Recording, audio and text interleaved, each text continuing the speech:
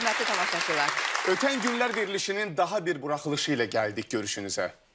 Bugünkü verilişimizdə Azərbaycan və dünya ədəbiyyatına özünə məxsus tərzdə töhfələr verən, cəsarətli və qüdrətli qələm və kəlam sahibi, istiqlal şairi Bəxtiyar Vahabzadənin ötən günlərini vərəqləyəcəyik. Təbii ki, Bəxtiyar Vahabzadə elə bir dahi, elə bir dühadır ki, onu bir tək şair ifadəsi ilə izhar etmək doğru olmaz. Böyük bir fikir sahibi, böyük bir mütəfəkkir, ardınca milləti apara biləcək bir zəka sahibi. Və hər bir misrası əslində ayrı bir verilişin mövzusudur Bəxtiyar Vahabzadənin. Çalışacağıq bugün bu saat içində e, əhatə eləyək böyük şəxsiyyətin böyük yaradıcılığını. Evet. Bəxtiyar müəllimin işığına yığışan qonaqlarımız var. Təqdim edək tamaşaçılara. Böyük sevgi ilə bugün studiyamızda Azərbaycanın xalq şairi Sabir Rüstəmxanlı əyləşib. Milli Məclisin deputatı akademik Nizami Cəfərov. Xoş gördük sizləri. Bakı Musiqi Akademiyasının və Xəzər Universitetinin professoru Cavanşir Quliyev. Milli Məclisin deputatı Cavanşir Feyziyev. Xoş gördük sizləri. Azərbaycanın xalq artisti Niyaməddin Musayev. Bəxtiyar Vahabzadənin ev muzeyinin direktoru Elşən Zekəriyə bəyli. Hamınızı xoş gördük verilişimizdə. Xoş gəlmişsiniz əziz qonaqlar. Gəlin bir yerdə əməkdaşlarımızın hazırladığı süjeti izləyək. Bəxtiyar Vahabzadə ilə bağlı. Daha sonra studiyadayıq və davam edək. Mən hələ çocuq ikən Yəni 5 yaşım, 6 yaşım, 7 yaşım olduğu zamandan mənim qəlbimdə türk məhəbbəti, türkə sevgi, türklüyün böyüklüyü, türklüyün qəhrəmanlığına dair qəlbimdə hisslər yaşayırdı. Onun ən böyük arzusu və xəyalı vətənini Türk dünyasının bütöv Azərbaycanı kimi görmək, azad yurtda yazmaq, yaratmaq və bu torpaqlarda əbədiyyətə qovuşmaq idi. O bəxtiyarlığını xalqının bəxtiyarlığından alan bəxtiyar idi. Nəfəs aldığı hər saniyəni məmləkətinin tarixinə, ənənəsinə, folkloruna, musiqisinə və xalqının ümidlərinə bağlayan Bəxtiyar Vahabzadə üçün poeziya elə həyatın özü idi. Ey vətən oğlu düşün, bil ki sənindir bu vətən. Sabahın həm bugünün, həm dünənindir bu vətən. Yaradıcılığının mərkəzində dayanan insan, zaman və cəmiyyət onun yazılarında tam fərqli dünyaya çevrilirdi. Qaynar və zəngin ədəbiyyat mühitində bəxtiyar yaradıcılığı xüsusilə seçilirdi. Böyük şairimiz Səməd Vurğundan tərif qazanaraq ustadının yolunda ildən ilə formalaşıb yüksələn Bəxtiyar Vahabzadə çox enişlərdən, yoxuşlardan keçdi. Olmuşları və olanları olduğu kimi qələmə alan şairi sıxanlar, incidənlər, hətta işsiz qoyanlar az olmadı. Vətəninin dərdini, cənublu şimallı parçalanmış Azərbaycanı dilə gətirməkdən qorxmayan şairi nə qədər Sovetin qatı məngənəsi sıxsa da, bir o qədər xalq öz mərd oğlunu qorudu. Heç yerə məni işə götürmürlər, acıq, ac. Amma o zaman millət mənim evimə zəmbil göndərildi. Gətirib qoyurdular qapının ağzına, zəngi basıb gedirdilər. Çıxıb gördüm zəmbil var. Sujetli şeirlərlə ədəbiyyata gələn Bəxtiyar Vahabzadə zaman keçdikcə ədəbiyyatımıza çox dəyərli pyeslər, fəlsəfi əxlaqi, mənəvi psixoloji, tarixi, romantik poeziya nümunələri bəxş etdi. Türkçülük, millilik, istiqlal mövzularını həm açıq, həm də sətraltı şəkildə oxucuları ilə bölüşən, yetişən gənc nəsli öz kökünə, soyuna bağlayan və onları azadlığa səsləyən Bəxtiyar Vahabzadənin həyat amalı məhz bu idi. Bundan böyük şərəf yoxdur ki, sən başqa bir dövlətin ordeninə deyil, məhz öz millətinin, öz müstəqil dövlətinin ordeninə layiq olasan. Yaradıcılığının mərkəzinə insanı yerləşdirən şair təbii ki, hisslərinin, həyəcanının, sevginin, niskilin və məhəbbətin də göz oxşayan portretini yaratdı. Onun sevgi şeirləri bir çox unudulmaz bəstələrə ilham oldu. Gecələr pənah evim, gecələr Gecələr bir-biri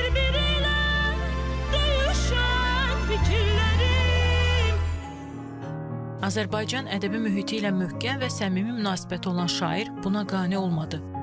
Sovet məngənəsində olan digər türk soylu xalqların yazıcı və şairləri ilə sıx əlaqələr qurdu. və bunu mükəmməl şəkildə bacardı. Milli varlığını itirmək təhlükəsi altında olan xalqı uçurumun kənarında qoruyan və sinəsini sipər edən şəxsiyyətləri tarix heç vaxt unutmur. Bəxtiyar Vahabzadə şəxsiyyəti Azərbaycan tarixinin müxtəlif dövrlərində xalqının cəfasını, dərdini, əzabını ruhunda, varlığında yaşayan və yazılara həkk edən, dünyaya car çəkən əbədi qüvvədir.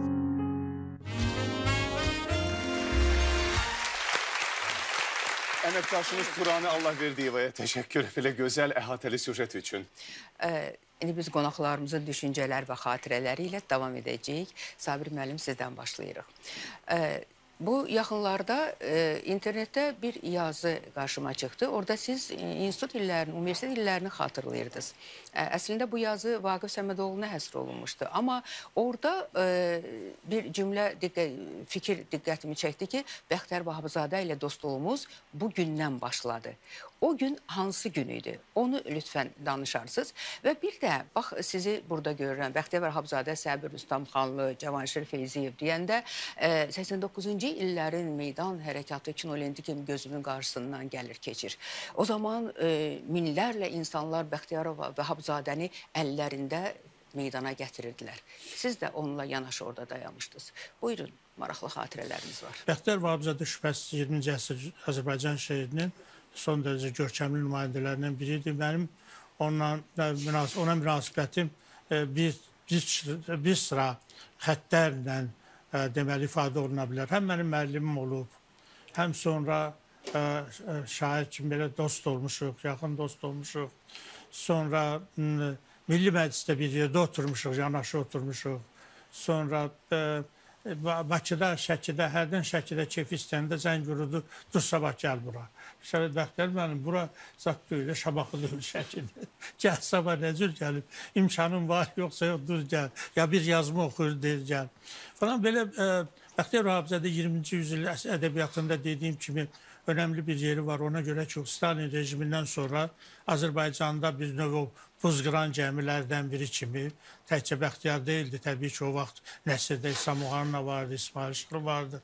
Sonra ə, deyək ki, ə, şeirdə də Bəxtiyar və onun həmkarları vardı. Amma ilk, ilk olaraq onlardan ən belə ə, cəsarətlərdən biri Bəxtiyar idi. Çünki Gülüstan poeması yazmışdı. 54-cü ildə deyək ana dil haqqında şeir yazmışdı. Stalin rejiminin son dövrlərində o e, bütün ideoloji ideoloji sistemə qarşı e, deyək ki, sosialist realizmi və yaxud e, belə o Stalin, Stalin dönəminin stereotiplərini qırmaq istiqamətində ilk addımlardan birində Azərbaycan şeirində Bəxtiyar atmışdı. Onun dəyəri məncə ilk növbədə bununla ölçülür və meydanlara gələn yolu doğrudan başlamışdı. İlk növbədə oradan Qurt Stalin dövrünün o şeyindən qorxularından xilas oldu. Sonra meydanlarda artıq Qarbaçov dönəmi idi və Bəxtiyar Sınov meydana çıxmaq artıq o qədər də təhlükəli idi. Hərçənd ki, onda da son dərəcə təhlükəli. Sonra sonu nə olacaq bilinmirdi hələ. Biləndən sonra ilk meydan hərəkatından sonra ilk ora çıxanlar həbs olunmadı, əksinə xalqın hörmətini qazandı. Ondan sonra çoxlu yalançı meydan, meydan qəhrəmanları yarandılar, çıxdılar ortaya. Heç orada çıxış eləyənlər də, eləməyənlər də. Bəxtiyar səmimi idi bu işlərin hamısında, ürəklə elə idi, bilirsiniz. O ki qaldı, sizin daha çox danışmayayım, dostlarımız buradadır. Bilis Bəxtiyar müəllimlə mən tələbə vaxtı tanış olmuşam. İcazəsiz mən 3-cü kursda oxuyurdum, o 4-cü kursda dərs deyirdi. Onu doğrudan çox sevirdim. Rayondan, orta məktəbdən şeirlərini əzbər bilirdim. Dözə bilmirəm 4-cü kurs gəlsin, Bəxtiyar müəllimin sinifinə dərsinə girdim. Getdim, oturdum onların icazəsiz dərsində. O da Səməd Vurğundan danışırdı. Bir söz dedi, dedi Səməd Vurğun insan ə, piyesində qalib gələcək bir cahanda Kamal sözünü düz deməyib. İnsan Kamalı çoxdan qalib gəlib. Mən də belə biraz dözümsüz və özünü həmişə sözünü deməyə çalışan bir tələb idim. Dedim Bəxtiyar müəllim, mənim sizə etirazım var, icazə verin. İnsan Kamalı heç vaxt qalib gələ bilməz. İnsan Kamalının qalib gəlməsi dünyanın sonu deməkdir fəlsəfi cəhətdən. Sonra dedi ki, uşaqlardan biri məni satdı. Dedi, o üçüncü kursdadır, gəlib burada. Gidib, dedi, məndən icazəsi. Niyə girmirsən, gələn görüşər, istəndi, getdim. Bəxtiyar müəllim çox ədalətli bir adam. Bizim dostluğumuz əslində o gündən başladı. Bir, bir il sonra o sərbəst şeirlərin təzə meydana çıxan vaxtları idi. Bu sərbəst şeirə qarşı danışır. Bu nə şey, şeirdir? Bunu, bunu nə yazıblar? Məsələn, Vaqif haqqında atası belə yazır, özü belə yazır oxşamadı. Hə. İndi mövzu veriləndə mən də kurs kimi götürdüm. Azərbaycan şeirində sərb Azərbaycan poeziyasında sərbəst şeir. Və oturdum deməli Dədə Qorquddan Üzbəri Rəsul Rza, hətta Səməd Vurğun və deyək ki, o vaxtı 30-cu illərdə Səməd Vurğun, Süleyman Rüstəm də sərbəst şeirlər yazırdı.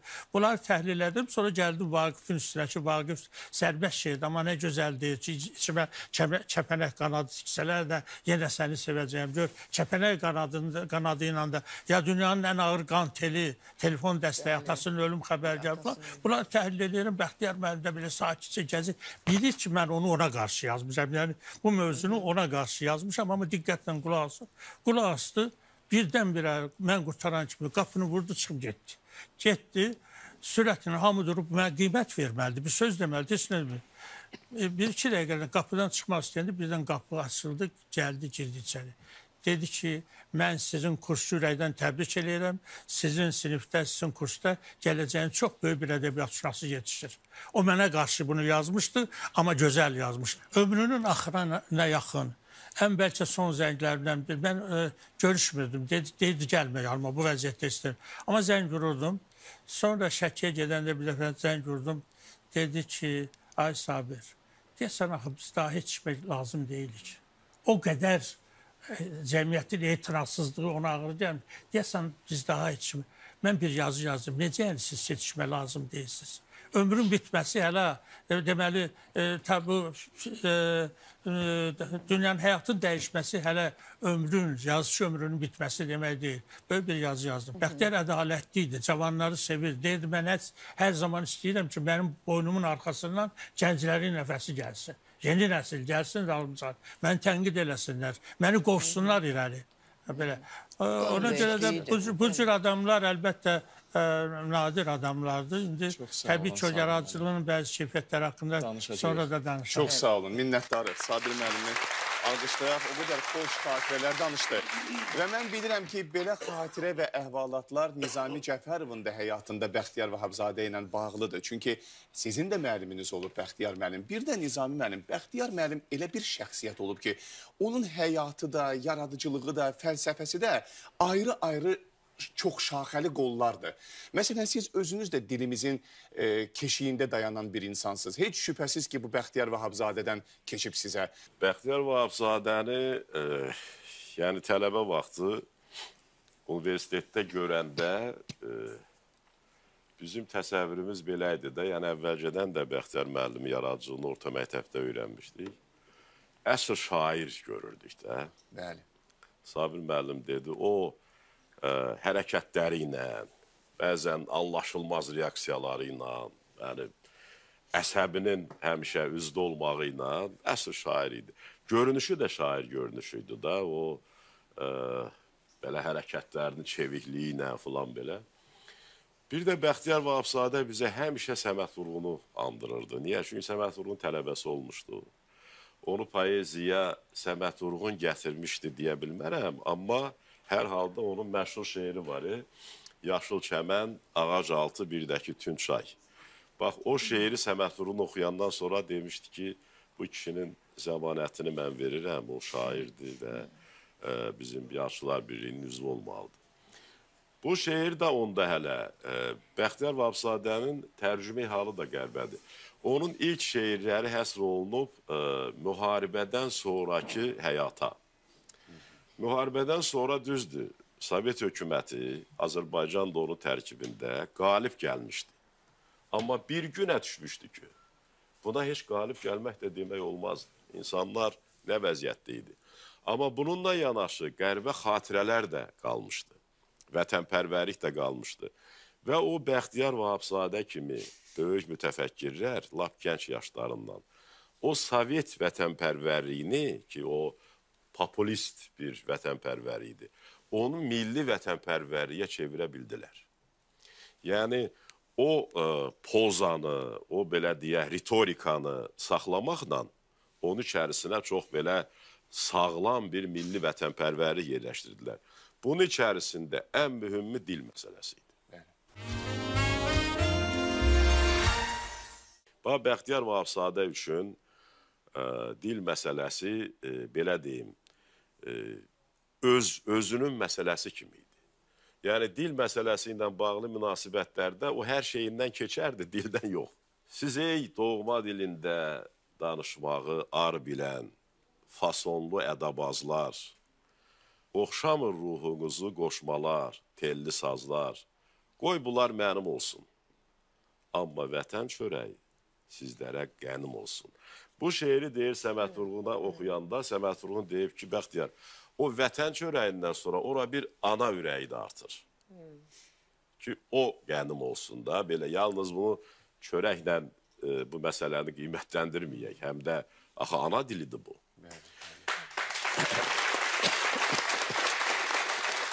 Yəni, e, elə bilirəm ki, o şeirdə olan o ideya bugün bizim gənclərimizə lazımdır. Milyonlarla türkün Bəli. könül himnidir. Və onun bizim ə, şeirləri. ümummilli liderimiz Heydər Əliyev də vaxtı ilə çox dönə-dönə əslində deyirdi ki, Azərbaycan gəncləri ingilis dilini də, fransız dilini də, alman dilini də, ərəb dilini də bilməlidirlər. Amma birinci ana dilini bilməlidirlər. Heç bir dili dünyada, heç bir millətin övladı başqa ana dilinin hesabına öyrənə bilməz. Bax, bu ümumi bir ideya idi, ümumi bir ideologiyaydı ki, ümummilli lideri və Bəxtiyar Vahabzadəni birləşdirirdi. Ona görə də onlar bu məsələdə çox belə dərindən həmrəy idilər. Ya məsələn, Bəxtiyar Vahabzadə, ə, bayaq ə, Sabir müəllim xatırlatdı, ə, 50-ci illərdə deyəsən Latın dili. Latın dili şeiri. Ölü dildi, hə. O şeirin mənası bilirsinizmi nədir? O şeirə qarşı heç kim Sovet ideologiyası etiraz eləyə bilməzdi. Çünki e, Bəxtiyar Vahabzadədə ustalıq var idi. E, mövzunu bəzən ayrı ölkəyə, ayrı coğrafiyaya, ayrı dilin üzərinə köçürdürdü, amma özümüzdən danışırdı. Deyir ki, məsələn, bax, e, Latın dili yaşayır, amma Latın xalqı yoxdur. Dilin qüdrətinə bax ki, dil xalqsız yaşayır. Amma mən qorxuram ki, bizim dilimiz ölə, xalqımız yaşaya. Bəlkə də deyir, xalqın e, ölüb dilin yaşaması e, yaxşıdır. Amma bir halda ki, dil ölür, xalq yaşayır, bu faciədir. O bizə dərs deyəndə tez-tez Səməd Vurğundan danışırdı, Səməd Vurğunu tənqid eləyirdi, Səməd Vurğunu sevirdi. Yəni Səməd Vurğunu Bəxtiyar Vahabzadə kimi sevmək bu tamam ayrı bir sevgi idi. Bu hər oğlun sevgisi deyil. O deyirdi ki, Səməd Vurğun bizə dil verdi. Bax, bununla o təsdiq edirdi ki, müasir Azərbaycan dilinin yaradıcılarından, xüsusilə şeir dilinin, Cəfər Cabbarlı da var. O da müasir Azərbaycan dilinin yaradıcılarındandır. Səməd Vurğun şeir dilini yarattı. Şeir dilini yarattı. O şeir dili olmasaydı, Bəxtiyar müəllim deyirdi ki, biz olmazdıq. Bizim yazdığımız dil nə dili olardı, o çox çətin idi. Çünki bizə şeir dili adına çoxlu xüsusiyyətlər gəlmişdi.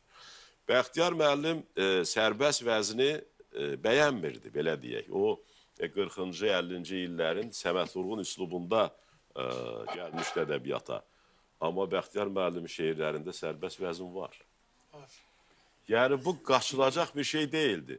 Bəxtiyar müəllim tənqid eləyə-eləyə sevirdi. Ona görə də istəyirdi ki, o da tənqid oluna oluna sevilsin. Bir dəfə də mən tənqid eləmişəm, e, ayıb olmasın Bəxtiyar müəllimi. O da çox e, belə hirslənmişdi. Ədəbiyyat qəzetində işləyirdim və Nərman müəllimə, Nərman Əsazadəyə şikayətlənmişdi ki, bu nə deməkdir, nə yazır bu? e, mən də bir, bir neçə ay gözünə görünmədim, sonra hər şey qaydaya düşdü və Bəxtər müəllimin o xüsusiyyəti də var idi, onun bir, bir gözəl bir şeiri də var, öz haqqında yazır. Əsərəm, coşaram, ancaq heç zaman yaşatmaz kim məni, küdurət məni. Gözəl. Nizami müəllim, e, madem ki bu türkçülükdən, dildən danışdınız, bizim bir video görüntümüz var. Elə məqamı da onu təqdim eləyək. Bəxtiyar Vahabzadənin türkçülüklə bağlı və dilimizlə bağlı onların ayrılmaz bağ olduğunu bildirən bir şeirlə ifadəsi. Elə məqamıdır ki, baxaq sonra davam edək. Ben dedim, sen dedin, yine ben dedim. Bir adım geriye çekilemedim. Sen gördüğün farkı görebilmedim. Vallahi Azeri ile Türk arasında. Sen gördüğün farkı ben görebilmirəm Azeri ile Türk arasında. Azeri ile Türk aynıdır.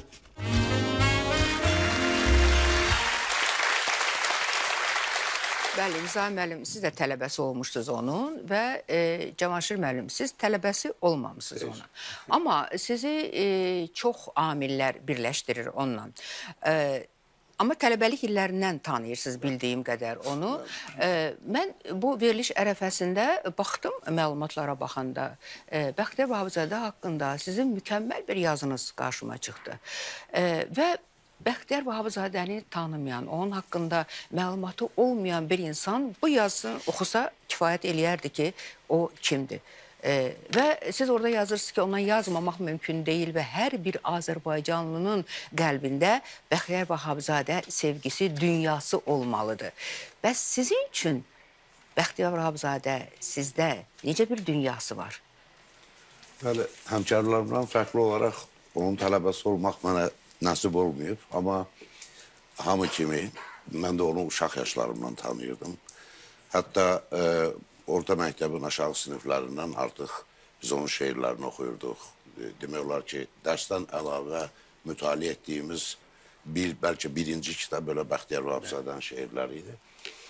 Və o vaxtdan da onun şeirləri hələ uşaq yaşlarında da bizi cəlb eləyirdi. Digər şeirləri əzbərləməyə çalışırdıq, dərsdə keçirdik. O, o qədər maraq bizim üçün kəsb eləmirdi, nəinki Bəxtiyar Vahabzadənin şeirləri. Və elə o uzaqdan uzağa məhəbbət əsasında mən 5-6-cı siniflərdə oxuyanda onun portretini çəkmişdim. Rəsm dərnəyinə gedirdim və onun portretini çəkmişdim və evdə də buna çox xüsusi maraqla yanaşdılar ki, niyə e, məhz Bəxtiyar Vahabzadənin portretini çəkdim. O vaxt əlbəttə o, o yanaşmanı, o hissləri özüm də izah eləyə bilməzdim. Amma həyatın sonraki zamanlarında bizə e, rastlaşmaq nəsib oldu və əslində tanışlığımız heç rastlaşmadan baş verdi. Tələbə ikən e, 85-90-cı illər arasında e, o zaman Azərbaycanda azadlıq hərəkatının artıq ilk dalğaları başlamışdı və e, gənclər də əlbəttə bu işdə çox fəal idilər və biz də o cümlədən. Biz gecələr e, saysız hesabsız ideyalar müzakirə edirdik. Bəzən e, özümüzdən yeni təşkilatlar uydururduq, müstəqil gənclər təşkilatı və yaxud yəni və düşüncəmiz ondan ibarət idi ki, əgər müstəqil olmaq istəyiriksə, bizi mərkəzə bağlayan bütün telləri tədricən qırmaq lazımdır. Buna görə biz özümüz nəsə yaratmalıyıq. Partiyanı da, komsomolu da, piyoneri də özümüzünkiləşdirməliyik. Milli təşkilatı yaranmalıdır və bu bu belə bəs, bəlkə də indi bəsit görünə bilər, amma o zaman üçün bu tələbələr arasında e, fikirləşilirdi ki, düşünülürdü ki, bu irəliyə doğru bir addımdır. Və bu fəaliyyətlər zəminində biz e, bir neçə tələbə yoldaşlarımızla görüşlərimiz olurdu. Bu görüşlərdən e, xəbər tutdular o zamanki Dövlət Təhlükəsizlik Komitəsi və bizi sorğu-suala tutmağa başladılar. Və bu sorğu-sual uzun müddət ərzində davam etdi, aylarla davam etdi və nəhayət e, tanışlarımızdan biri Bəxtiyar Vahabzadəyə bu barədə xəbər verdi. Biz onun üzünü görmədik, amma Bəxtiyar Vahabzadənin bu işə qarışmasından sonra bizdən əl çəkdilər, bizi artıq heç yerə çağırmadılar, izahatlar tələb eləmədilər və e, bu məsələ belə də qaldı. Amma ondan bir müddət sonra artıq azadlıq hərəkatı özünün ən pik həddinə çatanda artıq biz görüşdük və tanış olduq. Və mən həmin hadisəni xatırlatdım. Cəmi bir neçə il əvvəl baş vermişdi. Və o çox sevindi. Və ondan sonra görüşlərimiz gah Şəkidə, gah Bakıda olurdu. Və əlbəttə xüsusilə həmin dövrdə ki görüşlər e, ancaq o, o zamanki hərəkatla bağlı, ölkədəki durumla bağlı, beynəlxalq vəziyyətlə bağlı müzakirələrdən ibarət olurdu. O zaman heç kim ədəbiyyatdan danışmırdı. Çünki daha çox siyasi istiqamətdə insanlar gecə-gündüz düşünürdülər və hamı bir çıxış yolu axtarırdı. Dövran belə idi. Bəli. Və Bəxtiyar Vahabzadə də hamımızın tanıdığı kimi çox çılğın e, e, və cəsarətli olduğundan e, biz ona çox diqqətlə və maraqla qulaq asırdıq. Çünki o, o necə görür, o nə olmalıdır, nəyi tənqid eləyir, nəyin olmasını istəyir. Və nəhayət e, bizim ümumi dostlarımızla bir yerdə e, artıq Bəxtiyar Vahabzadə yaşlaşdıqca biz ayrılıqda onun haqqında daşım, danışmağa başlayırdıq. Və bir çox ideyalar vardı aramızda və biz, biz bu ideyaları istəyirdik hansısa bir şəkildə Bəxtiyar Vahabzadəyə çatdıraq. Deyirdilər heykəl qoymaq istəyirsiniz. E, Şəkidə onun bir şəkli kimi. Ha, yox, o, o zaman Amma- bəli, elə elə e, ideyalar çox idi. Heykəl, məqbərə və s. Amma bunu ona nə şəkildə demək, nə şəkildə ondan razılaşdırmaq hələ e, e, həyatda olan adamla bu çox çətin məsələ idi. Bir dəfə biz Şəkidə Soyuqbulaq adlanan bir ərazidə orada restoran var və orada Bakıdan gəlmiş bir qonaqla Bəxtiyar müəllim və mən oturduq çay içməyə. Orada restoranda ağacların altında masalar qoyulub və bir-birindən aralı 5 metr, 10 metr aralıda masalar, masalar var. Biz orada oturanda mən e, gördüm ki bizdən aralıdaki birinci masanın arkasında tanıdığımız adamlar oturur. Və biz çay içdikcə, söhbət elədikcə mən görürəm ki, onlar gözlərini bizdən çəkmirdilər. Və ürəyimə damdı ki, mütləq onlar durub bizə yaxınlaşacaqlar və düşündüm ki, ola bilər Bəxtiyar müəllimi narahat etsinlər. O zaman biraz sağlamlığı ilə bağlı problem vardı və Şəkidə qalmaq istəyirdi. Gözlədiyimiz kimi də oldu. Biz e, yarım saat sonra həmin adamlar bizə yaxınlaşdılar, salamlaşdılar. Və sonra onlardan biri dedi ki, Bəxtiyar müəllim, baxın, bu oğlan sizin bütün yaradıcılığınızı əzbər bilir. O da belə o biraz bəzən gözlənilməz jestlərlə, mimika ilə hərəkət elə, elə, eləyirdi. Dedi ki, bax, ola bilərmi belə şey? Elə o bax sözünü elə dedi ki, elə ki, qəflətən şey, yeni bir şey eşitdi elə bil. Həmin adam da gözləmədən başladı Bəxtiyar müəllimin şeirlərini bir-bir əzbərdən deməyə. Biri qutarır, o birisini başlayır, biri qutarır, o birisini başlayır. Fara fasilə vermədən bu adam şeirlər deyir. Bəxtiyar müəllim də, abala dayan, abala saxla. Deyir ki, abala sən kimsən, nəşisən, təhsilin nədir? Dedi ki, texnikum qutarmışam. Nə iş görürsən? Dedi, tütün qəbulu məntəqəsində müdür işləyirəm. Ailən varmı? Dedi, var. Uşaqların varmı? Dedi, var. Hiç onlarla məşğul ol da. Sana mən düşüb bəf şeylər bəzbər öyrənirsən. Siz böyülüyə baxın. Ben Azərbaycanın hansı bölgəsində olmuşam. Orada bu cür adamlarla rastlaşmışam. Bəli. Bəxtiyar Vahabzadənin olsun, elə Sabir Rüstəmxanlının olsun, elə Səməd Vurğunun olsun. Fikir adamları. Mirzə Rəhbər Sabirin olsun. bəli. Bütün şeirlərini əzbərləyən adamlar var. Şeirlərdə söz düşmüşkən Cavanşir müəllim 12 cilddən ibarət kitabının nəşrini etmisiniz və onun 10 cildini Bəxtiyar müəllim özü görüb e, sağlığında. Bəli, Necə qarşıladı bunu? Həyatının son 10 ilində hər cür çalışırdıq ki, ona nəsə bir xoş ovqat yaşatmaq üçün nəsə edək. Və ona görə belə bir fikrə gəldik ki, onun e, baxdıq ki, onun seçilmiş əsərləri Kiril əlifbası iləndir və çox az həcmdədir. Amma onun yazıları həddindən artıq çox idi və hələ də çap olunmamış yüzlərlə onun şeirləri var. Bəli. Və o zaman belə təşəbbüslə ona yaxınlaşdı ki, Bəxtiyar müəllim, bəlkə sizin əsərləri bir baxasınız. Həmin o köhnə seçilmiş əsərlərinizdə olanlar çox az, az sayda şeirlərdir. Amma sizin yaradıcılığınız bundan qat-qat genişdir axı. Onları bəlkə yenidən nəşr eləyək. Dedi ki, bax, o mənim üçün ən böyük abidə olardı, əgər onu eləyə bilsəniz. Və hiss elədim ki, çox istəyir onu ürəkdən. Filologiya elmləri doktoru Ramazan Qafarlı ilə biz bunun bütün yazılarını toplamağa başladıq. Özü də bizə çox yazılar verdi.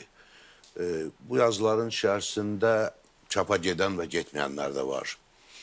E, özünün çapa getməsini istəmədiyi şeirlər də var idi. E, biz topladıq amma yenə də biz onları e, toplayıb bir-bir ardıcıllıqla düzdükcə davamı gəlirdi. Onun o bəzi şeirləri o 20 il qabaq yazmışdı, 30 il qabaq yazmışdı, amma elə indi tapırdı. Elə bu hazırlıq işlərin gedişində o da həvəsə gəlmişdi və axtarırdı hər yerdə nəyə var. Və beləliklə biz 12 cild, hər cild 550-600 səhifə olmaqla 12 cilddən Böyük ibarət külliyat. onun seçilmiş əsərlərini topladıq. Şeirlərdən başlayaraq publisistikasına, pyeslərinə qədər e, hamısını çap elətdirdik. 10 cildi hər birini mən ona şəxsən təqdim etdim və e, təsəvvür edin ki, hər bir cild hazır olanda və onu əlinə alanda gözləri yaşarırdı.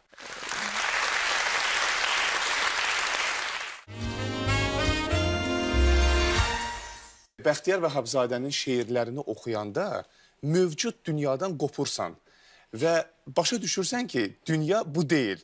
Cavanşir Quliyev studiyamızdadır, bizim çox dəyərli musiqiçimiz, bəstəkarımız və şeirlərdən söz düşdüsə, neçə-neçə Cavanşir müəllimin bəstəsində o sözlər o qədər gözəl səslənib musiqinin müşayiəti ilə. Çox saylı şeirlərə bəstələdiniz mahnılar, neçə-neçə tamaşa işlədiniz. Hələ dostluğunuz var idi, bir torpağın yetirməsi idiniz. Cavanşir müəllim, danışmağa söz çoxdur. Buyurun. ötən günlərə dönsək, e, uşaqlığında Bəxtər müəllimin e, yayda isti, isti vaxtlarda Şəkiyə gəlib e, dostu Şirməmməd Hüseynovla Şirməmməd müəllimlə axşam-axşam gəzintiyə çıxmağı gözümün qarşısına gəlib. Mən məktəbli idim o vaxtı. Uzaqdan biz də baxırdıq. Bəxtiyar Vahabzadə keçdi. hə, sonra mən böyüyəndən sonra təbii e, zaman keçir.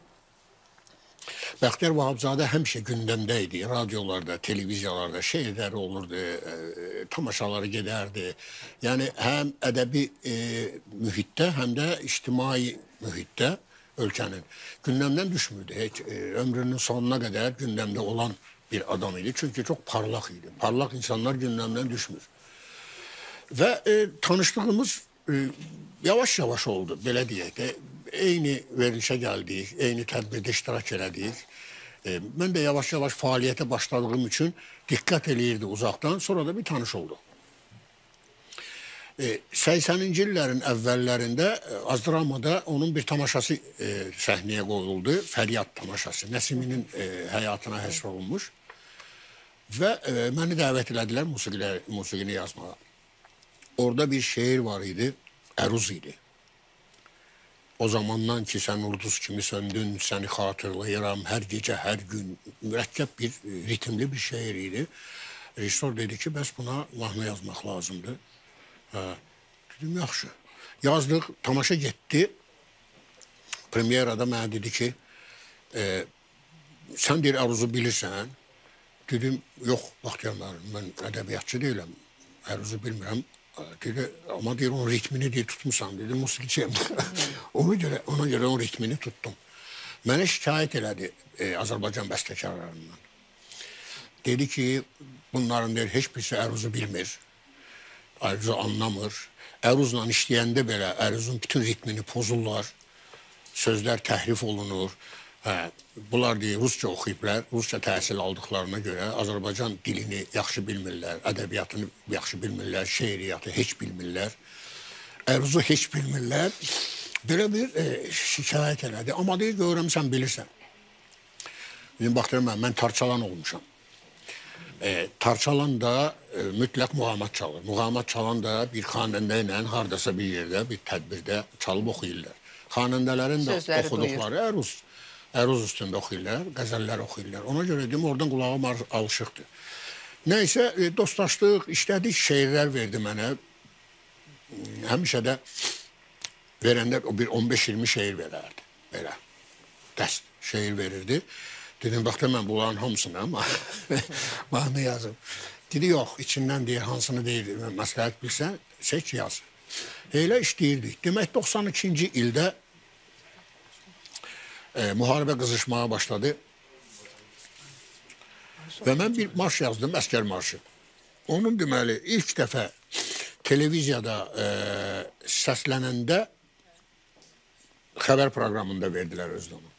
Xəbərlər proqramında çünki Laçın batalyonu mən, onu mənə sifariş eləmişdi və buradan ora o marşı göndərmə imkanı yox idi. O vaxt internet yox, telefon yox, heç bir şey yox. Yalnız televiziyada eşidib ala bilərdilər. E, dedik ki, televizordan vermək lazımdır. Televiziyada da xəbər proqramına hamı baxırdı. Çünki cəbhədən xəbər gözləyirdilər. Nə var, nə yox. Elə xəbər proqramında getdi. Proqram bitəndən 5 dəqiqə sonra Baxtiyar müəllim mənə zəng elədi. Zəng elədi, ağlaya-ağlaya belə təşəkkür elədi. Dedi ki, mən deyir ilk dəfə tankın üstündə bir Azərbaycan oğlu gördüm. Onda da biz görüntülər tapmışdıq, e, olan qalan görüntülər hərb hərbiçilərin. Çox az idi. E, mahnının üstünə onu vur, onu vurmuşdular televiziyada. Onu gördü, şey oldu, təsirləndi çox. Baxtiyar mənim duygusal adamdır. Və bir neçə dəfə burada da qeyd olundu. Ondan sonra bir çox tamaşalarına musiqi yazdım, televiziya tamaşalarına, Azdramadakı tamaşalarına görüşərdik tədbirlərdə və e, hesab eləyirəm ki, Baxtiyar Vahabzadə şair, ictimai xadim olmaqla bərabər həm də çox böyük mahnı ustası idi. Baxtiyar müəllim o işin çox böyük ustası idi. Azərbaycanda bir neçə şairlər olub mahnı mətni yazan usta şairlər. Baxtiyar Vahabzadə, Əliağa Kürçaylı, İslam Səfərli, Zeynal Cabbarzadə, bunların Fikrət Qoca, bunların e, mahnıları Baba Vəziroğlu özü. Bunların mahnıları e, o şeirlər yağ kimi gedir mahnıda. Yəni işləyəndə rahat olur bəstəkara da. Amma baxın Füzulinin şeirlərinə, Füzuli kimi bir şairin şeirlərinə çox azdır əsər, çox az. Deyirsən ki, niyə azdır bu boyda şair? Başqadır ona görə. Ehtiyac yoxdur orada musiqiyə. 100%dir hər şey. Bəli, bəli. Və qorxursan ki, korlaya bilərsən. Bu fikirlərdən dərhal sonra biz video görüntü istəyirik təqdim eləyək. Hə, məqamıdır. Elə şövqlə danışdınız ki, o şeiriyyat, musiqi, onun bağlılığı, həm də neçə-neçə belə sevdiyimiz mahnılar var. Sizin bəstəniz və Bəxtiyar müəllimin sözləri. Korkut dede töresiyle Hakan size ad verdi. Göy Tanrı adınızı doğursun.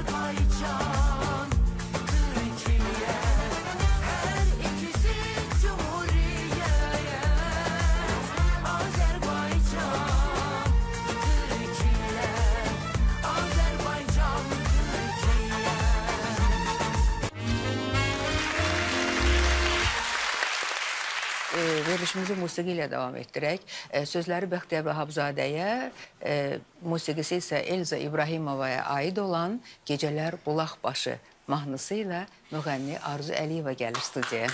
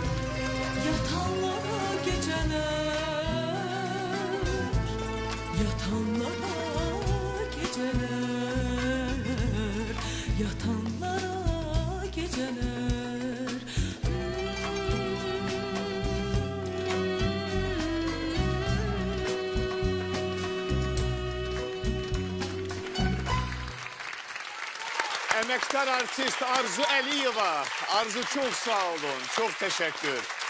Bu çok sevimli bir mahnıdır. Çok da özünə məxsus yanaşdı Arzu Bəli, gözəl, bu mahnıya. e, çok oxudu. teşekkür. Elşən müəllim xoş gəlmisiniz. Elşən müəllim Bəxtiyar Vahabzadənin Şəkidə yerləşən ev muzeyinin direktorudur. Və orada elə bir mühit yaranıb, orada elə bir ab-hava var Elşən müəllim. Mən o muzeydə olmayanların hamısına məsləhət görürəm ora getsinlər. Ora qapıdan daxil olursan içəri, Bəxtiyar müəllimin səsində bütün həyətdə şeirlər səslənir. Dağların gözəlliyi, qonaqpərvərlik, muzeydəki əşyalar, siz özünüz o qədər həssaslıqla qoruyub yaşadırsınız ki, bu muzeydəki eksponatları elə qarşılayırsınız gələn insanları. Danışın bizə bu muzeyin o sehirli ab-havasından. Əzizim aya dəyər, qaşım minaya dəyər. Dil var bir günə dəyməz, gün var minaya dəyər. Muzeyimiz 7 ildə açılıb. Bu gün mən e, bəlkə də ömrümün min aya dəyəsi, min ilə dəyəsi bir gününü yaşayıram sizinlə bu auditoriyada. Bəxtiyar müəllim 1925-ci ildə Şəkinin ən qədim yurt yerlərindən, ən qədim məhəllələrindən biri olan Yuxarıbaş məhəlləsində dünyaya göz açıb. Bu gün Şəki Yuxarıbaş qoruq ərazisi adlanan tarixi şəxsiyyətlər bəxş etmiş gözəl bir məkanda və 68-ci ildə bir ata yurdu şeiri yazmışdı. Sanki bu şeir Sabir müəllim bir poemadır elə bil. Bəzi poemalarda o qədər sevgi, o qədər həsrət olmaz. Şəkidə məhlə var, nə qədər desən Gəldim bu dünyaya, Gəldim bu yuxarı dünyaya, başda. yuxarı başda. Bir göz evimizdə nə desəm vardı. Taxça aşağıda, yuxarı başda. Çıxdı ahıllığım mənim o yurtdan. Amma uşaqlığım yuxarı başda. İndi mən həsrətəm o doğma yurda, odu ürəkdədir. Buxarı başda deyən şairin həmin yurtda, həmin ocaqda ev muzeyi yaradılır. Deməli, Həmin sonradan muzey qaldığı bəli. evdə yox, o doğulduğu balaca evdədir Balaca muzey. evdə, bəli. Hörmətli prezidentimizin İlham Əliyev cənablarının Bəxtiyar müəllimin şəxsiyyətinə, yaradıcılığına olan hörmətidir və həmin muzey 100 illiyə hədiyyədir. Bəxtiyar müəllim həmin yurtda 9 yaşına kimi yaşayıb. Sonra həmin yurtdan Bakıya köçüblər. O dövrün ictimai-siyasi hadisələri ilə əlaqədar və Bəxtiyar müəllim müharibədən sonrakı dövrlərdə qəlbini xalqına verən şair yurdunu xalqın evlatlarına hədiyyə vermişdi. 2015-ci ildə sərəncam verilənə qədər həmin yurt uşaq bağçası olmuşdu. Çoxmu gəlirlər ora, muzeyə? Ötən il muzeyimizə 9180 nəfər qonaq gəlib. Gəlib. Bu il 9220 nəfər qonaq gəlib. Bakıdan sonra ən çox muzeylər Şəkidədir. Axundovun ev muzeyi var, Emin Sabitoğlu'nun, Sabit Rəhmanın ev muzeyi var. Maarifçimiz Şəkli e, Xan Sarayı var. Mirzə Fətəl Axundovun Bəli, ev hə. muzeyi var, lap qədimdən açılan. Və Şəki ədəbi mühitinə, Şəki həyatına Bəxtiyar Vahabzadənin ev muzeyi yeni bir ab-hava gətirdi. Nə qədər dünya Azərbaycanlıları var.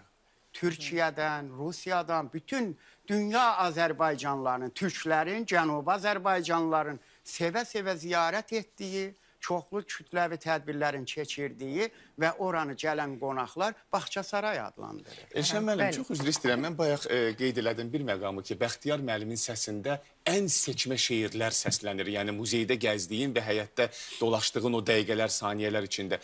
O şeirləri kim seçib? Nəyə görə məhz o şeirlər? Sanki Bəxtiyar müəllim qarşılayır qapıdan içəri girənləri. Çox belə möcüzəvi bir fikirdir. Mən Şəhriyarı bəxt, burada Bəxtiyaram, orada Şəhriyar biz uşaqlıqdan çox sevirik. Elə Şəhriyarın ev muzeyinə daxil olanda Cavanşir müəllim anıt qəbrində həmişə Şəhriyarın səhərdən axşama kimi səsi səslənir. Bu ideya oradan gəlir. Bu muzey açılmamışdan hələ bəlkə ən azı 15 il daha öncə Elşən müəllim öz evində Bəxtiyar Vahabzadənin muzeyini yaratmışdı. Öz təşəbbüsü ilə, öz vəsaitləri ilə, öz topladığı eksponatları ilə, yəni heç bir kənardan dəstək olmadan, yəni Elşən müəllim də onun o çox saylı minlərlə olan pərəstişkarlarından biridir ki, öz evində Bəxtiyar Vahabzadə hələ sağ ikən ona muzey yaratmışdı. Sağ Və sonradan bu muzey yaradılanda oradakı eksponatları da köçürdülər həmin muzeyə. Əlbəttə Çox o sevgi olmasa o cür muzey olmaz yəni. Bəxtiyar müəllimin kitabları çıxdı axı 12 cildli. Onlardan 20 nüsxə verdim ha Cavanşir Feyziyev. Mən də Novosibir Milli Kitabxanasında, Qazaxıstanda, e, Səməd Vurğun adına Kiyevdə kitabxana var. Orada Bəxtiyar cuşələri yaratdım. Yəni beləcə Bəxtiyar poeziyası ilə eldən elə. Gözəl. O sevgilər də, o arzular da Allah qismət elədi. Ailəsi də, yaxınlar da hamısı istədi ki, həmin müqəddəs ocağın, həmin e, gözəl bir məkanın ev muzeyinin direktoru mən olum. Fəxr eləyirəm ki, böyük bir şairin arxivini mənə etibar eləyiblər. Axı muzeylər bütün yaş təbəqəsindən olan insanların formalaşmasında mühüm rol oynayır. Bəxtiyar müəllimin evində necə qarşılayırdılar qonaqları, mən də çalışıram ki, elə qarşılayım. Çox sağ olun, var olun. O Çox sağ olun. Çox sağ olun. Və Niyamətin müəllim, sizinlə davam eləyək. Siz Bəxtiyar müəllimin sözlərinə yazılmış mahnıları oxumusunuz, amma sizin xüsusi bir dostluğunuz var idi onunla. Bəxtiyar müəlliminlə mənim ilk görüşüm gecələr mahnısını oxuyurdum mən. Quşda uçur xəyalım hardan hara gecələr. Mən həsəd aparıram yatanlara gecələr. Onun ilk ifadəsi mən olmuşam. Ondan onu xoşu gəlib mənlə yaxınlıq olub. Elə oldu ki 78-ci ildən mən röya ansamblı yaratdım.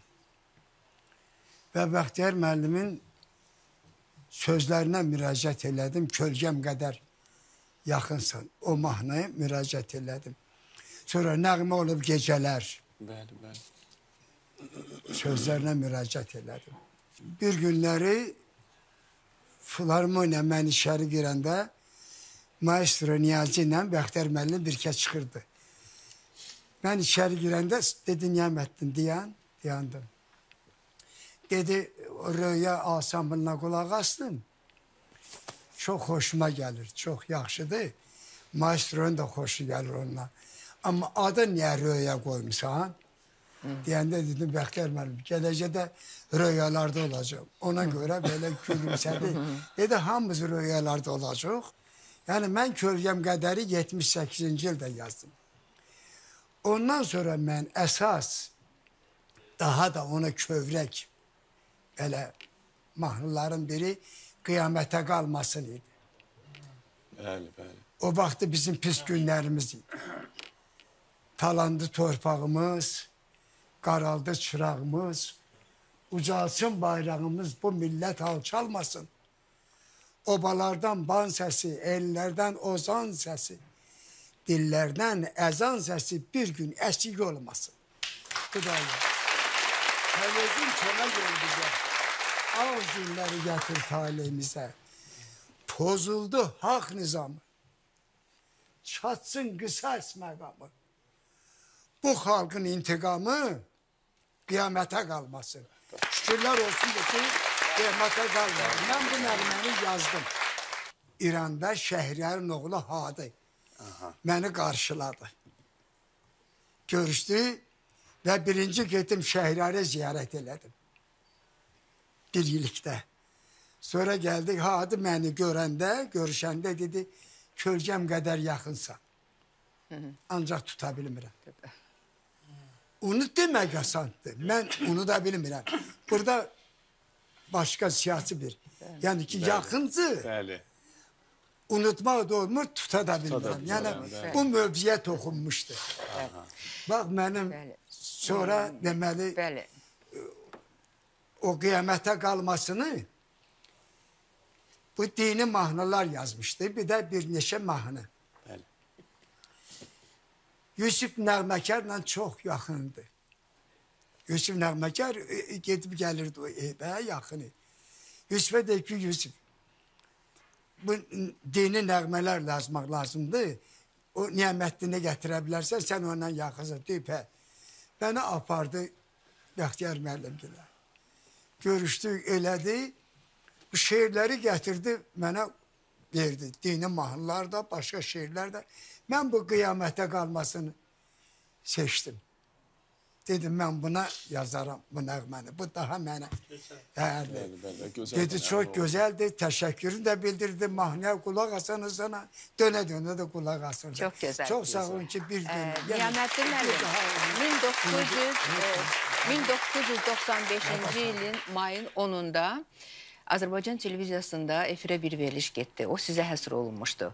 Ümmüli Lizerin e, doğum günü idi. Və orada e, Bəxtiyar müəllim də Bəli, iştirak bəli, siz eləyirdi. də vardınız orada. Mən də aparıcıydım. Orada Bəxtiyar müəllim sizin haqqınızda fikir söyləmişdi.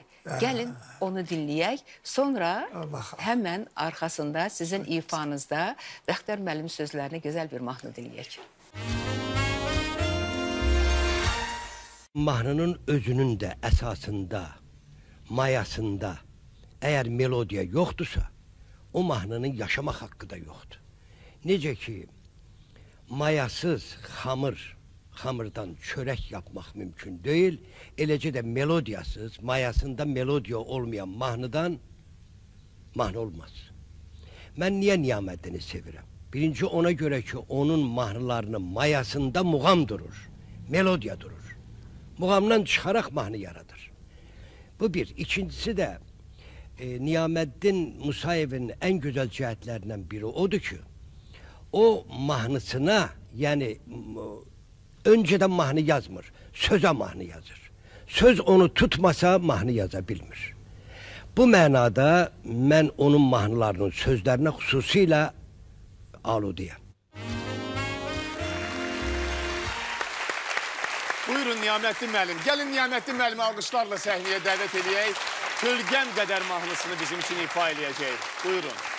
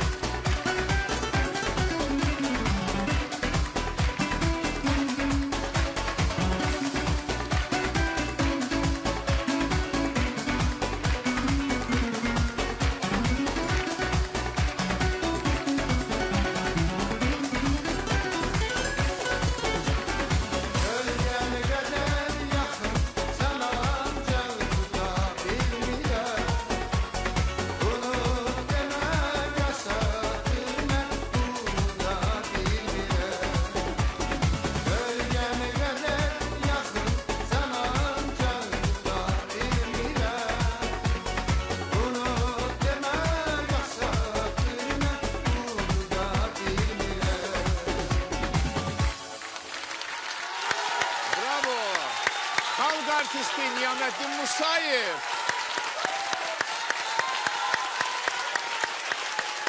Çok sağ olun.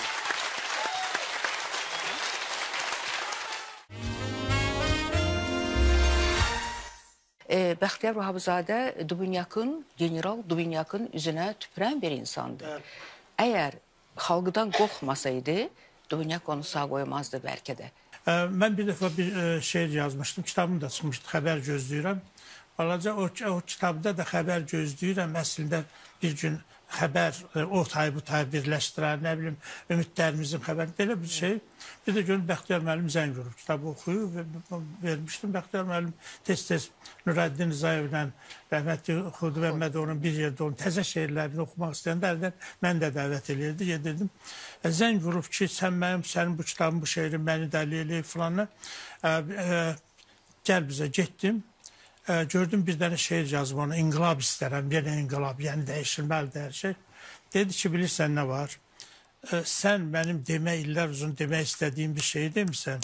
Çünki mən bu evdə e, hər gün illər uzun gözləmişəm ki, günün birində qapının zəngi çalınacaq, qapını açacam, dostlarımla biri kimsə deyəcək ki, bu xaraba dağıldı. Yəni esserinin sonu çatdı. Mən bunu gözləmişəm illər uzunu. Sən bu şeirdə, şeirdə bunu yazmışsan. Yəni bizi bağlayan şeylərdən həmin duyğuydu o Dublyaka şillə vuran Bəxtiyar, meydanlara çıxan Bəxtiyar, həmişə cəsarətlə sözünü deyən, dediyiniz e, şeydə də Milli Məclisin e, icrasında o vaxt ki, yəni insan qədir qədir bilmək e, və adamlara birmənalı münasibət çox ə, ciddi bir şeydir. Bu gün vəzifədədir, sən ona sayğı göstərirsən, hörmət bəsləyirsən, vəzifədən çıxan kimi sifətin dəyişilir. Bunun hamımız əzabını yaşamışıq. Azərbaycan niyə təəssüf ki, cəmaatımızın bu cür adamlar çoxdur. İçimizdə çoxdur.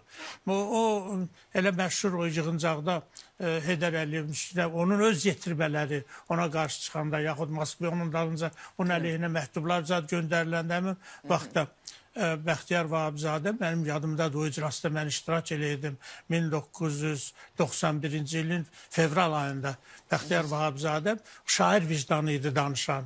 Onun bəlkə də Bəxtiyar Vahabzadənin dövlət başçılarına ehtiyacı yoxdur. Bunu açıq deyim. Kim gəlirdi özü Bəxtiyarla ona zəng vururdu, onunla tanışmaq istəyirdi, görüşmək istəyirdi. Ədəbiyyat hakimdir. Ədəbiyyat zamanın da hakimidir, dövlətin də hər şey. Ədəbiyyatın heç kimə əslində ehtiyacı yoxdur bu mənada. Millətdən başqa, xalq sevgisindən başqa. Bəxtiyar o sevgini qazanmışdı. Amma Bəxtiyarın vicdanı ona imkan vermirdi ki, deyək ki, düz əyri deyilsin. O məclisdə yadımdadır Bəxtiyar dedi ki, mənim ə, əslində burada deyək ki, Heydər Əliyevin bu tərifə ehtiyacı yoxdur. Amma dünən ona ə, yaltaqlıq eləyənlərin bu gün dur durub onun çıxışına də ayaq döyməyini, təpi döyməyini və bu cür şeyləri onu mən qəbul edə bilmirəm. Biz ə, Sovet dövründə SSR-yə qarşı mübarizədə hamımız bir yerdəyik ki, sağı, solu, ziyalısının, nə bilim Öyle ki SSR dağıldı biz başladıq bir-birimizlə vuruşmağa.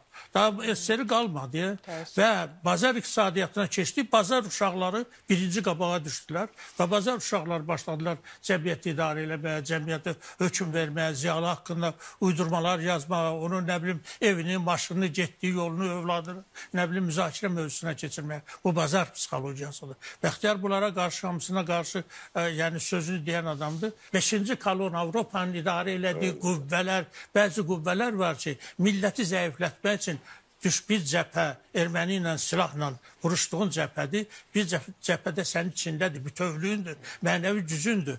O gücü zəiflətmək, millətin içərisini boşaltmaq istəyirlər ki, biz sabahları onu silahlandırır. Hər cür silahlandırır, səni hər cür silahsızlaşdırır. Bu da bir silahsızlaşmadır. Millətin dəyərli zilahla- ziyalılarını al əlindən, ondan sonra millət qalsın cahil. Həmin o bazar uşağı səviyyəsində. Ömər, mən ki ziyanlarını, Dədə Qorqud eposunu xalqın əlindən almaq təcrübəsi var. Hə də ona gediblər. Ona da də o bax. günə düşdük. Bəli, bəli, bəli. Onu bu çox ciddi bir bir ciddi ağrılı bir şeydir, mövzudur. Bəlkə də bir elə buna ayrıca bir veriliş əsr eləmək olar. E, Bu şeylər ziyalılar yığışıb söhbət edirlər. Nədir bu prosesdən nə istəyirlər, hara aparırlar? Süleyman Rəhimlinin bir sözü vardı. Deyir dünyana üstümə dünyanın bütün çaylarını axıtsalar, mən lil altında qalmaram. Biz Bəxtiyar Vahabzadələr lil altında qalmaz. Bəli. Çox sağ olun Sabir müəllim. Bizim görüntümüz var. Ulu Öndər Heydər Əliyevin Bəxtiyar Vahabzadəyə İstiqlal Ordeni təqdim etdiyi o kadrlar, tarixi görüntülər. Azərbaycan xalqının milli azadlıq uğrunda mübarizəsində xüsusi xidmətlərinə görə Bəxtiyar Mahmudoğlu Vahabzadə İstiqlal ordeni ilə təltif edilsin.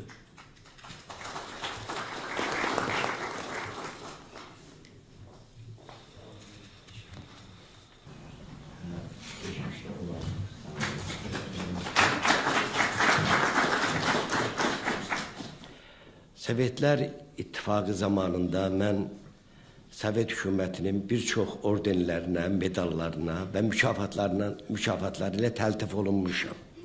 Deyim ki, onda sevinməmişdim, yalan olar. Onda da sevinmişdim.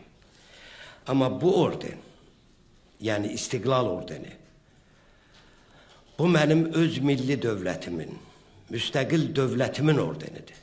Bütün gecə gündüz arzum olub ki, mənim dövlətim olsun, mənim müstəqil dövlətim olsun və millətim heç bir millətin quyruğu olmasın. Allaha şükür ki, biz ona nail olduq və sizin rəhbərliyiniz altında arzu edirəm ki, bu müstəqilliyimiz günü-gündən çiçəklənsin. Heç kəs bizim müstəqilliyimizi əlimizdən ala bilməsin. Təşəkkür edirəm.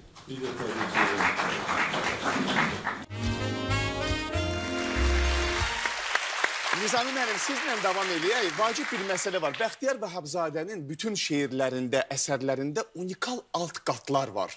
Yəni açıldıqca da açılan məsələlərdir. Məsələn, biz insanlar kədərdən, qəmdən, dərddən qorxuruq, qaçırıq.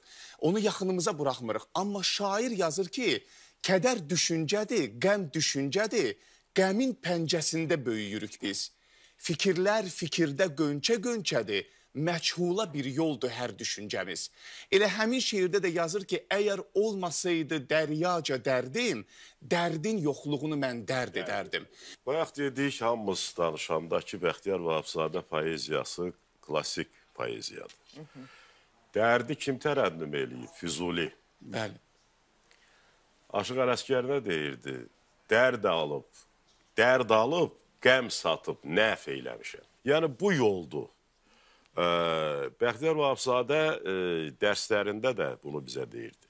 Dərslərində də deyirdi ki, əşin nə qədər sevinmək olar. Sovet dövründə bilirsiniz, bayramlar çox idi. Deyirdi ki, bugün bu bayramdır, o gün o bayramdır. Nə qədər bayram eləmək olar. Yəni, bax, bu e, dərd həssaslığı e, Bəxtiyar Vahabzadədə bir yanğı idi. Ona görə də deyirdi də, Şam əgər yanırsa yaşayır demək. Onun yaşamağı yanmağındadır. Və yaxud onu bəzən deyirik, Şam əgər yanmırsa, yaşamır demək. Onun yaşamağı yanmağındadır. Bəxtiyar müəllimdə bax o ə, dərdlə yaşamaq, dərd nədir? Dərd məsuliyyətdir. Və Bəxtiyar Vahabzadənin də müəllimi və onu çox sevən Mircəlal müəllim də deyirdi ki, bir var gülmək, bir də var boş hırıltı. Ədəbiyyat bunları ayırmalıdır.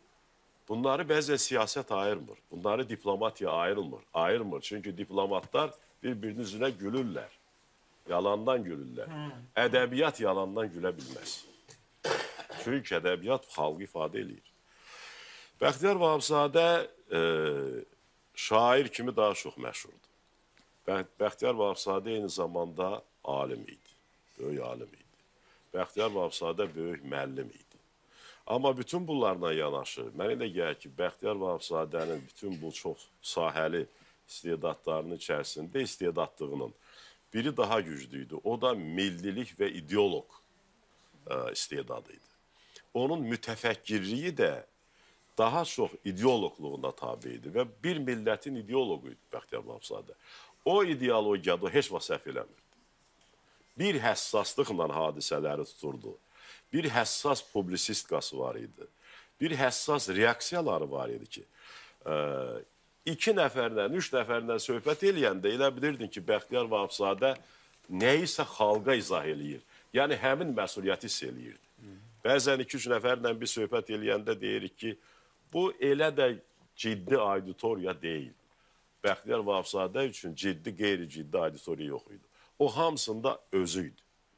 Və hətta e, deyim ki, məsələn, e, o ürəyini təmizliyini də, tə, o, o ürəyini təmizliyindən çox vaxt çılğınlaşırdı. Ürəyi təmiz olmayan adam çılğın ola bilməz. Çünki öz özünə nəzarət eləyir. Bəxtiyar Vahabzadə də yalnız bir şeyə, millətin həyatına, taleyinə, münasibətdə nəzarət var idi. Qalan heç şeyə nəzarət yox idi. Və bu sərbəstlik ona e, qarşı inam yaradırdı. Bu sərbəstlik onun düşmənlərinin əlinə e, belə deyək ki, dəstavuz da verə bilirdi. Amma buna baxmayaraq o heç vaxt o düşmənlərə münasibətdə təmkinli, ehtiyatlı olsun deyə yenə də e, o, o çılğınlığını buraxmırdı. Onun gözəl şeirlərindən biri belə idi, biraz uzun şeirdi. Deyir ki, mənim e, sağ qolumda yanıq yeri var. Hmm. Mənə yadigardır uşaqlığımdan. Mənə dedilər ki, bu oddur, atəşdir, yaxın durma, amma mən yaxın durdum. O vaxta qədər yaxın durdum ki, axırda özümü yandırdım. Sonra deyir, başlandı ehtiyat, başlandı həyat. Yəni, Bəxtiyar Vahabzadə nəyin nə olduğunu bütün dərinliyinə qədər bilirdi. Dərdi də, ağrını da, sevincini də, onların hamısını hiss edirdi. Amma eyni zamanda onların hamısını yaşayırdı. Yəni, o, həmin o məsuliyyət hiti yaşayırdı. Məsələn, onun bir şeiri də var, Şəkiyə yazıb. bir şeir yazmadım sənin adına. Şəki haqqında çox da şeir yazmayıb. Bir şeir yazmadım e, sənin adına, bunu dağlar mənə qüsur sanmasın. Dedim ki, bağlıyam Azərbaycana. Dedim ki, bir daha parçalanmasın. Verilişimizin bu yerində xalq artisti Gülyaz Məmmədovanı studiyamıza dəvət edəcəyik. Hoş geldiniz. Gelin buyurun bura. Gəlin Gülyaz xanım. Gülyaz xanım verilişimizdədir. Gülyaz xanım xoş gəlmisiniz. Çox sağ olun. Bəxtiyar Vahabzadənin sizin də bacıların yaradıcılığına böyük sevgisi, hörməti var idi. Bunu hətta yazılarında da qeyd eləyirdi. Siz də xatirələrinizi dalışın bizə. Bəxtiyar müəllimi hələ bizim ümummilli liderimiz Heydər Əliyevin dövründə tədbirlərdə daha çox görürdük. Və yaxınlaşmağa cürət də eləmirdik. Çünki həm gənc ifaçı olaraq o cürəti özümüzdə e, tapmırdıq. E, hər birimiz üçün böyük şəxsiyyətdir. Hər birimiz üçün Azərbaycanımızın e, böyük şairi və e, Bəxtiyar müəllimin mən qısa danışmaq istəyirəm. Çünki yetərincə burada ən gözəl e, xatirələri bizim gözəl sənətkarlarımız, hörmətli sənətkarlarımız, hörmətli millət vəkillərimiz danışıblar. Və e, onda deyim ki hardasa 2006 idi Cavanşir müəllim 2007-ci illər bizi şirkətə dəvət elədi və bizə gözəl bir qutu hədiyyə elədi Gülyana xanıma da mənə də. Üzərində yazılmışdı Bəxtiyar Vahabzadənin bütün e, şeirləri, qəzəlləri, külliyə seçilmiş əsərləri və biz o qədər qürur duyduq. Niyə? Çünki əldə eləmək də çətin idi bizim üçün. Elə mən ancaq onun bir qəzəlini oxuyurdum, daş ürəklərdə yanıb daşları sındırdım muğam. Haqqa düşman olanı haqqa tapındırdım muğam. Yəni qəzəl oxumağa elə bir sanki e, çoxdur. Əlağa Vahiddən oxuyuruq, Seyid Əzim Şirvanidən, amma Bəxtiyar müəllimin də qəzəllər olduğuna görə istəyirdim. Yəni burada yerli pərəstlik deyil, bu bir sevgi idi. Bu bir Bəxtiyar müəllimin sənətinə olan içimizdən gələn bir hiss idi ki, gözəl yazarın gözəl qəzəllərini oxuyaq və nəğmələrini çox oxuduq Bəxtiyar müəllimin. Həddən artıq nəğmələr yazıldı və həm böyük şair, yazıcı kimi, həm nəğməkar şair kimi Azərbaycanda sevildi. Bəxtiyar müəllimi də yaxından tanımağım ustadım Kamil Bəzrovun sayəsində oldu. Mahnı teatrına konsertə getmişdik. Bir yerdə bizimlə çay içdi, gözəl söhbətlər elədi. E, təriflədi bizi. Bilirsiniz bizim üçün o böyük şəxsiyyətin dediyi sözlər çox qürur vericidir. Xoşumuza gəlir ki, elə bir insandan gözəl sözləri eşitmək e, və daha da həvəslənirik və ona görə də mən e, bu gün bilirəm ki, balacadan böyüyə hamı Bəxtiyar Vahabzadə həm sənətinə heyrandır, həm onun adını sevən bir insanlar hamı çoxdur. Çox sağ olun. Təşəkkür edirik. Siz bayaq Dubinyakla bağlı bir e, e, epizodu xatırlatdınız. Bu artıq nisbətən yaşlı vaxtlarında baş vermiş hadisə idi. Amma e, ona bənzər digər bir hadisələr də mən bilirəm ki, o gənc yaşlarında eyni cür davranıbdı. E, bu əlbəttə o vaxtda biz həyatda yox idik hələ, amma bu e, Şirməmət müəllimin danışdıqlarından mən Dissident olub da. Yadımda qalıb. Hər zaman Bəxtiyar müəllimlə Cəsarət Şirməmət müəllim eyni vaxtda təhsil alıblar universitetdə və bu müharibədən sonrakı illərə təsadüf eləyirdi və aclıq illəri idi, kasıbçılıq idi və s. Və Şirməmət müəllimin danışdığına görə müəllimlər, xüsusilə cəbhədən qayıtmış müəllimlər onlara dərs verirdilər. Görürdülər ki, bu uşaqlar e, paltarsızdır, qışdır, soyuqdur. Hərəsi çalışırdı ki, tələbələrə kömək eləsin. Və o cümlədən bir nəfər müəllim öz işini elədi, müharibədən gətirdiyi işini elə Bəxtiyara vermiş ki, geyinsin. Və digər bir müəllim də öz buşlat deyirlər ona, sırıqlı, hərbi sırıqlı geyimini vermişdi Şirməmbət müəllimə. Və deyir ki, biz ikimiz bu geyimdə yük maşınının üstündə Şəkiyə gedirik. Bakıdan Şəkiyə. O vaxt ya, bu qədər minik maşınlar Yox falan idi. yox idi. Və gəlib Şəkiyə çatanda yağış başlayır yağmağa. Bunlar istanırlar, düşürlər maşından, evlərinə getmək istəyəndə Bəxtiyar müəllim deyir ki, gedək bir Mirzə Fətəlinin ev muzeyinə baxaq görək, bu yağış yağır, orada vəziyyət necədir? Bu tələbəlik dövründə bu iki gənc tələbənin hadisəsidir. Şirməmbət müəllim də deyir, ha dedim, əlbəttə gedək. Amma deyir, ucu qaranlıq düşüb, artıq qaralıb, e, qaş qaralıb, e, evə getmək də lazımdır. Getdik Mirzə Fətəlinin ev muzeyinə, gördük ki, e, evin içi ilə su axır. Damdan su axır birbaşa evin içinə. O qədər baxımsız, köhnədir ki. Bir oradan çıxdıq və e, Bəxtiyar heç nə demədi. Bir müddət addımladıq və gördüm ki, getdikcə onun sürəti artır. Bir mən ondan boyca uzun, amma mən ona çata bilmirəm artıq. Başa düşdüm ki, əsəbləşib. Və yaxınlaşdım ona ki, niyə, niyə belə tez-tez gedirsən? Deyir ki, gedək, bilirəm hara gedirik. E, gəldik, gəldik deyir, çıxdıq. O vaxt raykom katibi deyirdilər. Rayon Komünist Partiyasının katibinin evinə, yaşadığı evə. Gəlib qapını döyür, bir nəfər açır, deyir ki, kimsiz? Deyir ki, Bakıdan gəlmişəm, tələbəyəm. Təcili katibi görmək istəyirəm. Adam gedir içəriyə, sonra qayıdır, deyir ki, sabah gələrsiniz. Deyir ki, yox, çox təcilidir, mən mütləq onun özünü görməliyəm. Adam bir də qayıdır içəriyə, sonra raykom katibi çıxır bunun qəbuluna. Deyir, buyurun, hə, kimsiz? Deyir ki, mənim adım Bəxtiyardır, tələbəyəm, Bakıdan gəlmişəm, sizdən təcili bir sualım var. Deyir, buyurun. Deyir, çöldə gördük ki, yağış yağır, biz ikimiz də tələbəyik. Gəldik, soruşaq ki, bir də sizin evinizə də yağmır ki, siz bu rayonun rəhbərisiniz, başçısısınız, narahat olduq. Raykom katibi bunu qucaqlayır, deyir, sən nə yaxşı oğlansan, necə belə mənim qayğıma qalmısan, deyir, hardan ağlına gəlib bu? Deyir, hə, hardan ağlıma gəlib indi deyəcəm. Sizin evinizə damır yoxsa yox? Deyir, yox damır, çox sağ ol, çox minnətdaram. Deyir, amma Mirzə Fətəlinin evini sel aparır, amma o səndən də, sənin böyüklərindən də böyük adamdır. O vaxtki cəsarətə bax. Bəli, tələbə vaxtı. Və oradan çıxdıq, deyir Şirməmət müəllim yenə gedir qabaqda. Və yenə mən bunun dalından gedirəm, hara gedirik? O vaxtki icra e, icraya komitəsinin sədrinin evinə. İsbalkom deyirlər. Oxşar mənzərə, qapını döyürlər, həyat yoldaşı açır, deyir ki, təcili İsbalkomu görməliyəm. Təcili bir sözüm var. Adam çıxır, deyir ki, evinizə su damır. Deyir, yox. Deyir, niyə narahat olursan? Deyir ki, amma Mirzə Fətəlinin evini su aparır. Amma bil ki, o səndən çox-çox böyük adamdır. Sənin atandan da böyük adamdır. Bu şəkildə danışır və düşürlər və Şirməmət müəllim deyir ki, mən dedim, Bəxtiyar, sən neynədin? Bizi bu gecə həbs eləyəcəklər. Biz səhərə qədər evimizdə qala bilməyəcəyik artıq. Və dedim ki, birlikdə gedək. Gedək bizim evdə qalaq.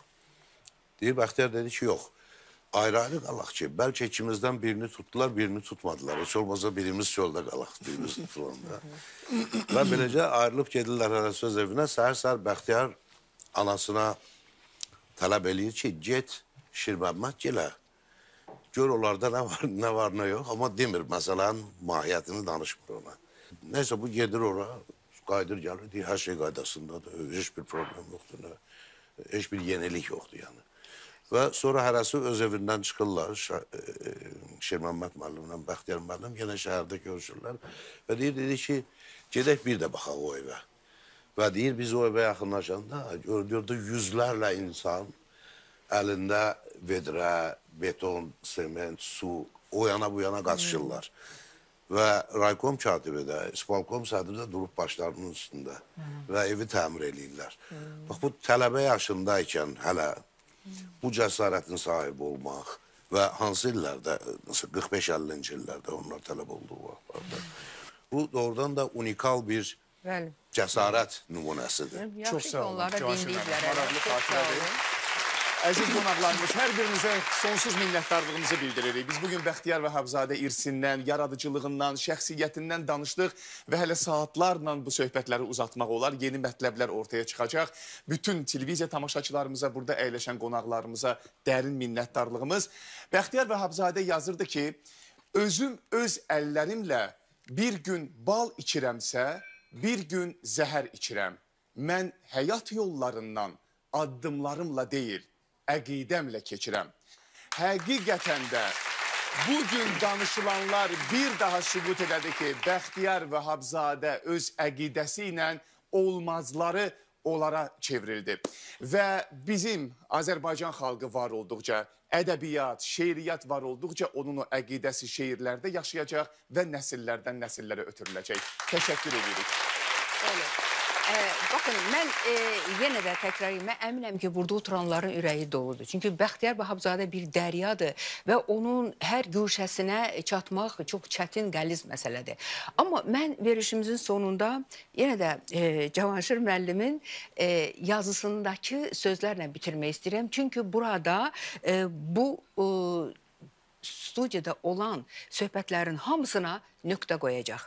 Bəxtiyar Vahabzadə müdrikliyində Dədə Qorquda, monumental epik təsvirlərində Nizamiyə, incə hüzünlü lirikasında Füzuliyə, dünyanın ilahi mahiyyətinə varmasında Nəsimiyə, sözü fatihlik qüdrətinə çatmasında Şah İsmail Xətaiyə, cəhalətə qarşı üsyan etməsində Mirzə Fətəli Axundzadəyə, Mirzə Ələkbər Sabirə, Cəlil Məmməd Quluzadəyə, romantik duyğuların qanadlandırılmasında Hüseyn Cavidə, Məhəmməd Hadiyə, milli ideologiyanın poetik fəlsəfi laylarının açmasında Əli bəy Hüseynzadəyə, Məmməd Əmin Rəsulzadəyə, mənəviyyatımızı musiqi ladlarında duymasında və publisistik kəsərində Hacı Bəyliyə vətən torpağının ülviyyətini real cizgilərlə çatdırılmasında Səməd Vurğuna bənzəyir. Amma əlbəttə ki, bütün bunlarla yanaşı hər yerdə Bəxtiyar Vahabzadə özüdür və öz sözünün ustadıdır. Ruhu şad olsun. Və sonda xalq artisti Gülyaz Məmmədovanı səhnəyə dəvət eləyək. Şairin sözlərinə gözəl bir mahnı oxuyun bizim üçün.